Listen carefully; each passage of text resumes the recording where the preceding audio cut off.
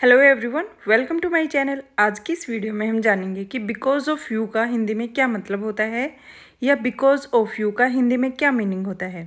तो because of you का हिंदी अर्थ होता है तुम्हारी वजह से या तुम्हारे कारण। ठीक है? For example I am alive today because of you मैं आज ज़िंदा हूँ तुम्हारी वजह से ठीक है? तो इसके साथ आज की इस वीडियो में बस इतना ही। Thank you for watching